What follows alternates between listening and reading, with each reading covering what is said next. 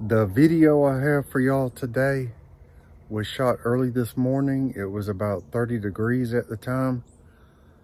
It's a 19 year old carrier gas pack and I try to show the efforts I went through to make sure that heat exchanger was still intact.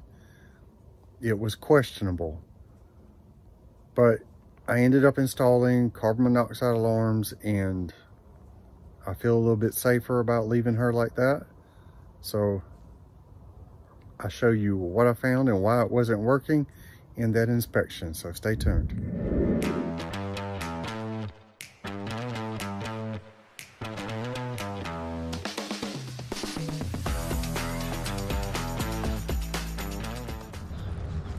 Whew. This is a no heat call and I think this is a carrier gas pack.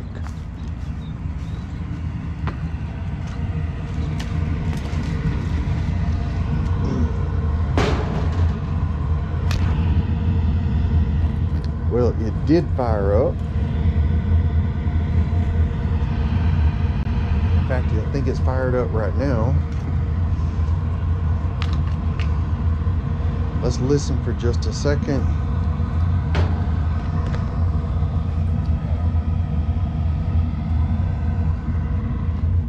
Oh my word, these are tight quarters.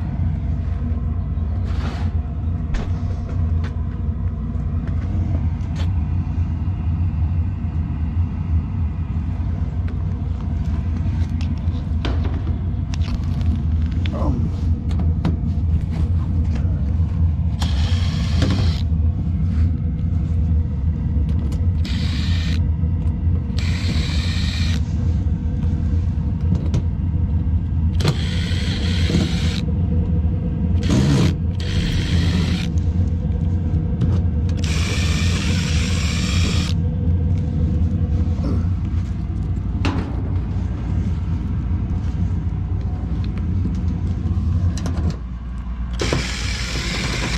All right, burners just went out.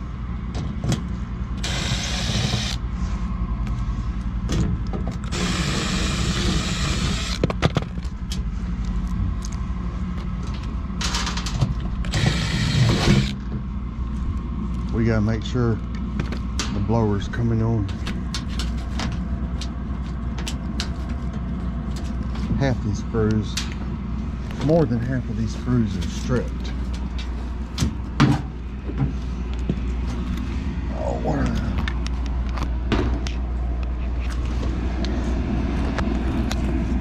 All right, we got this right here is a easy select board for a variable speed blower motor. And I do not hear it.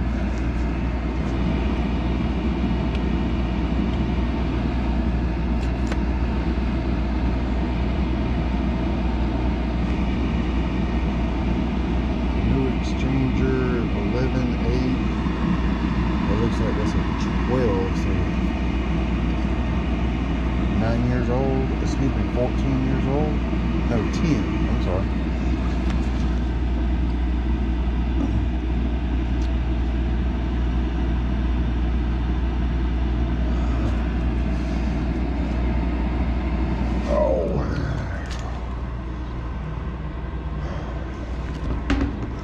All right, I'm gonna get me a, a knee pad and we're gonna dig in deeper to this blower motor. I just heard it fire up again. It's actually quite cold out here right now.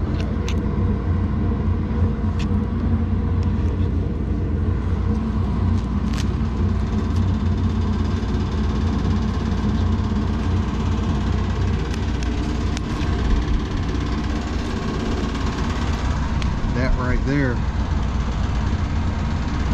gives the possibility, you can see the exhaust is right here, gives the possibility of it infiltrating the air in the house.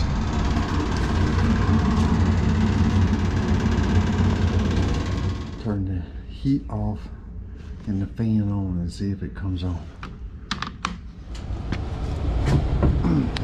after going inside and turning on the blower, blower comes on.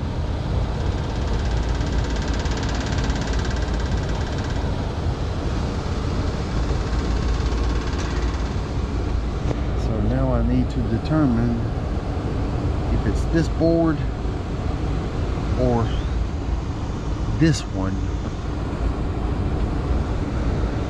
this goes to my blower and I think that goes over here to this.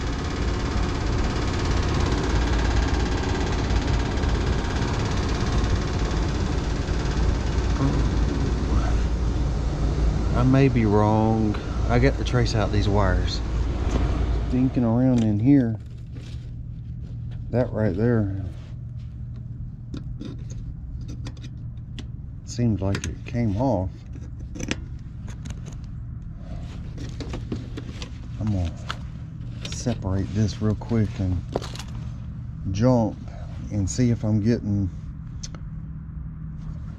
try to see if I'm getting a call on white right here excuse me right here and oh, I could use a wiring diagram. This right here may may be what brings on my blower when there's a call for heat.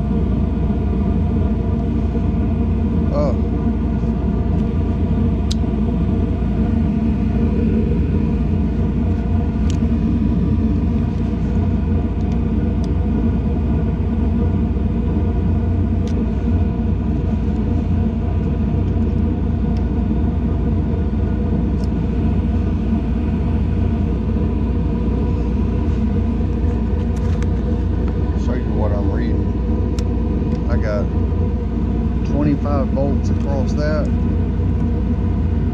and 25 volts across that. I think that is supposed to close my red to this white. And that's not happening.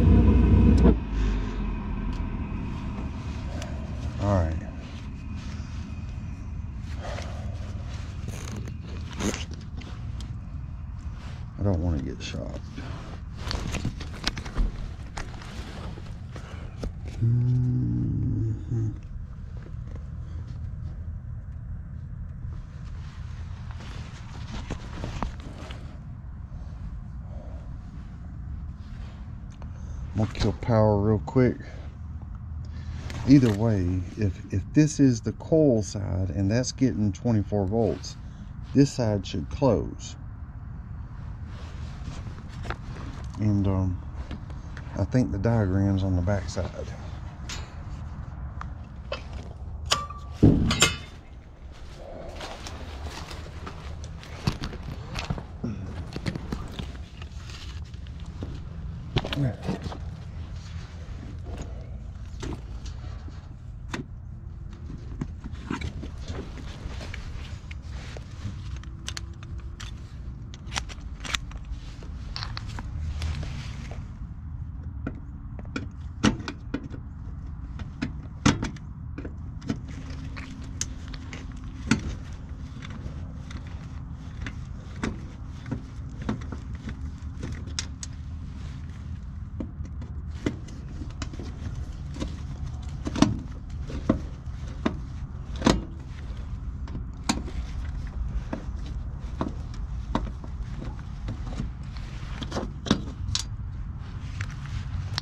just heard something else fire up and I looked up and they have one of those on-demand water heaters. Okay.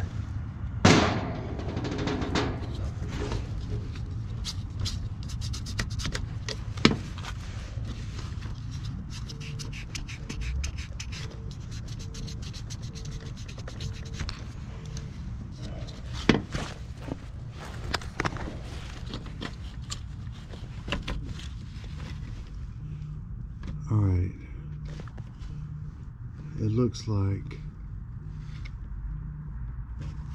I was right. That's the coil on that side. And two and four are going to be my normally open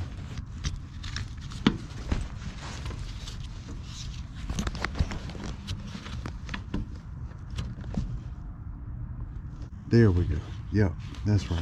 So these are normally open and that's my coil. We're fixing to swap that out and see if it'll come on. And then we gotta take a good look at that heat exchanger.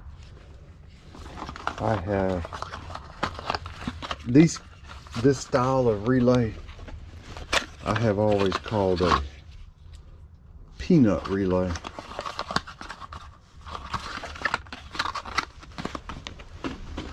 And uh yeah, that'll work.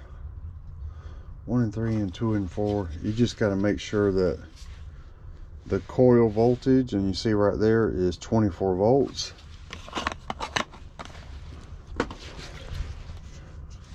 And that's what we need.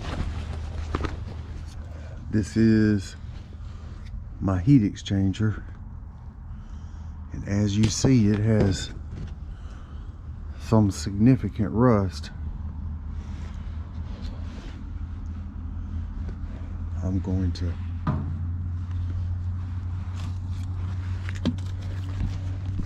probe what I can see right here. I know it's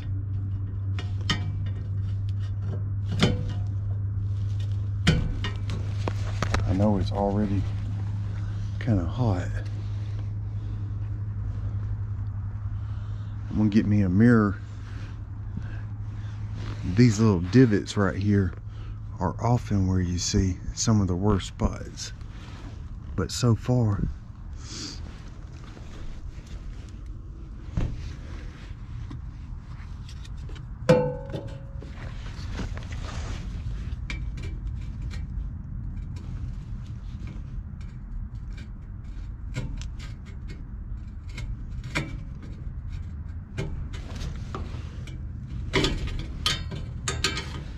yeah, so far it looks like it's okay. Like I said, I'm gonna get me a mirror and look around in there.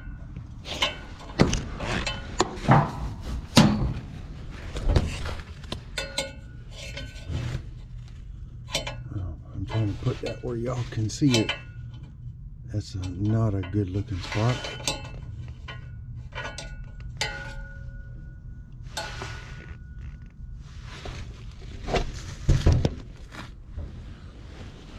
In fact, I'm gonna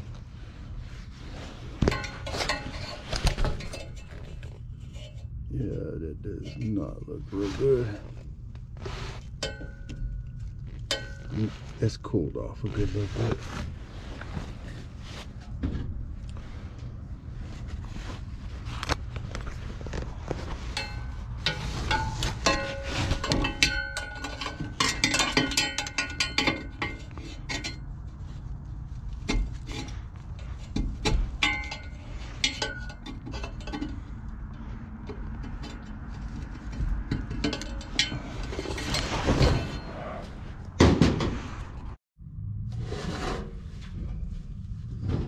All right, I thought I saw something.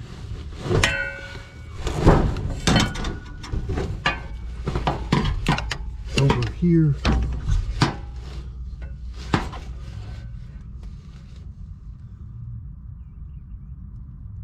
Yeah, I saw something right there.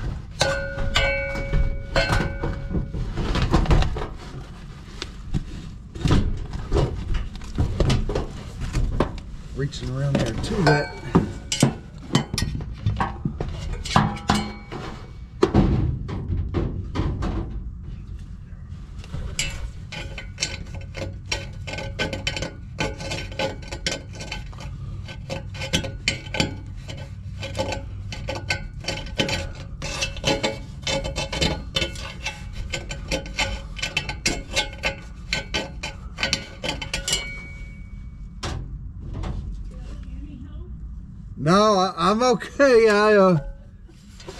I'm checking this heat exchanger.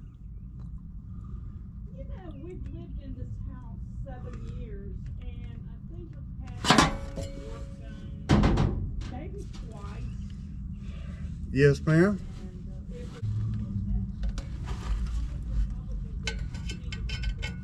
was, Um, it's one of the better ones.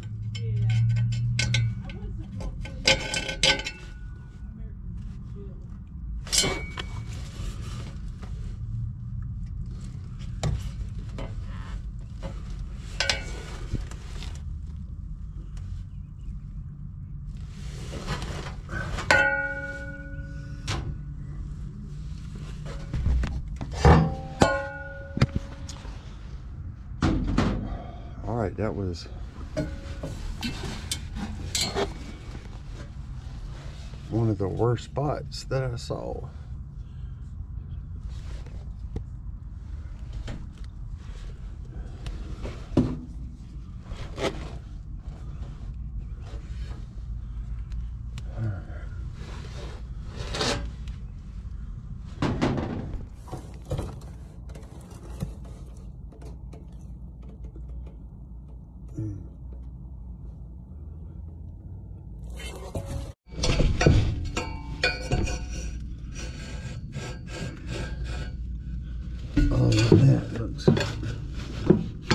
sketching.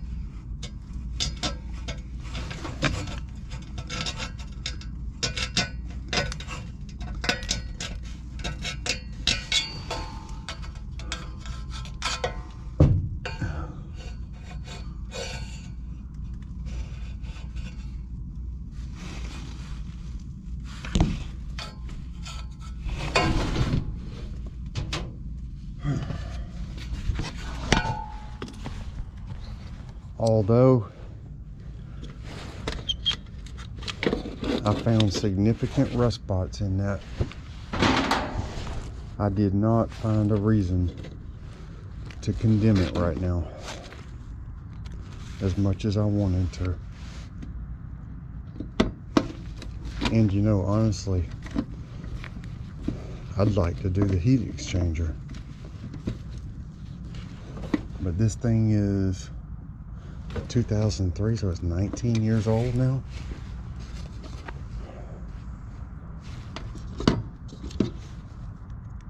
Hmm.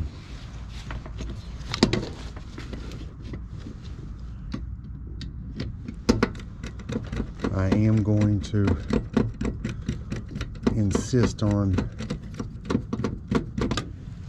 a carbon monoxide detector though.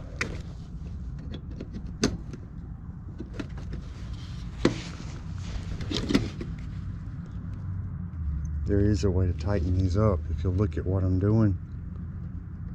I'm just squeezing the back side of this spade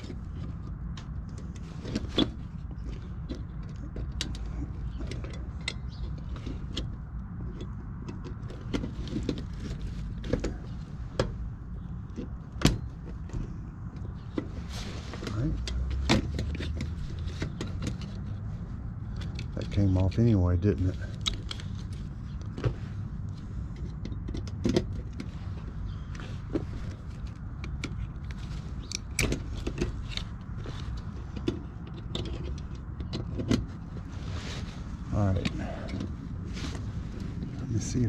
get any slack.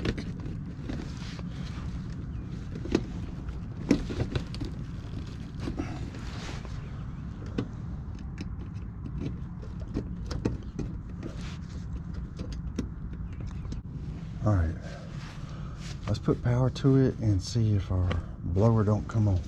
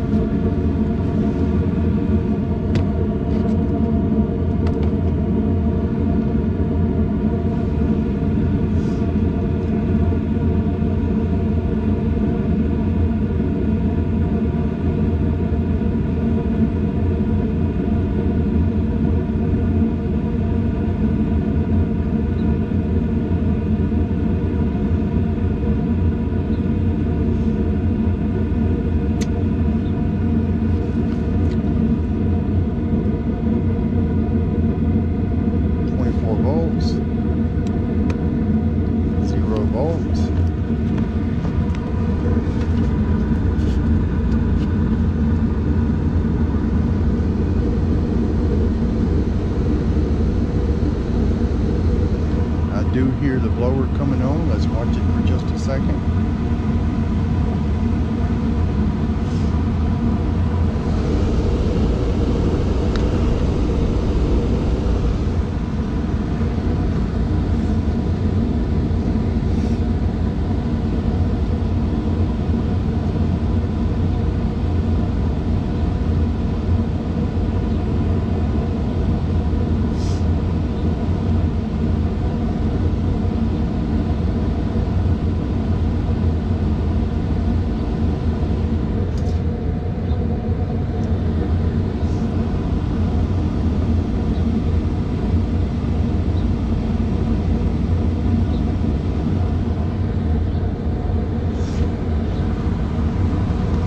Something I wanted to point out. This is a 2003, and this is a 410 system. That's pretty early for 410.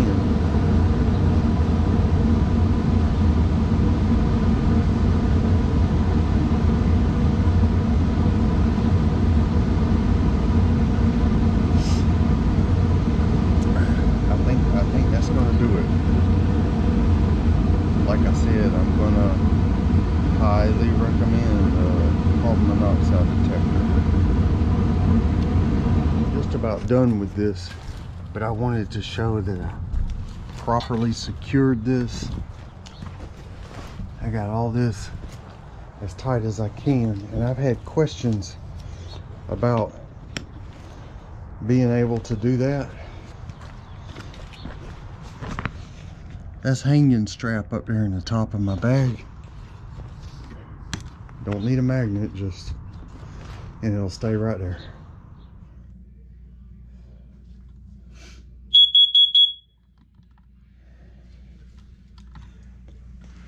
All right. And this is where y'all sleep, in this room. Um, in here is a good place to have one because this is where you're most at risk. Mm-hmm. You're asleep, and if there's carbon monoxide, you won't know it. Um, but I, also another good place is in the hall. Okay. Seriously, stop being- One, two, three. Okay, I just want to be because of the amount of rust that I saw. I just want to be safe. Yeah. Oh, yeah. What is that, Maggie? What is that? No, I, I totally agree. All right. Something I've gotten in the habit of doing is coming back to make sure everything's running and I didn't leave any tools. And look what I found. I almost left that like that.